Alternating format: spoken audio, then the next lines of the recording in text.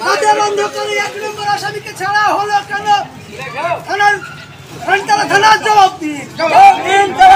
তাদের অন্ধকারে এক নম্বর আসামি কি করে ছাড়া পেল? আর জবাব দিতে হবে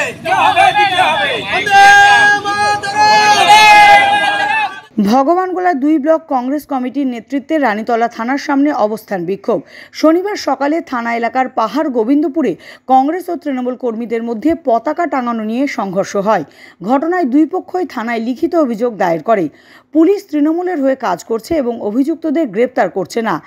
এই অভিযোগে রানীতলা থানার সামনে অবস্থান বিক্ষোভ কংগ্রেস নেতৃত্বের।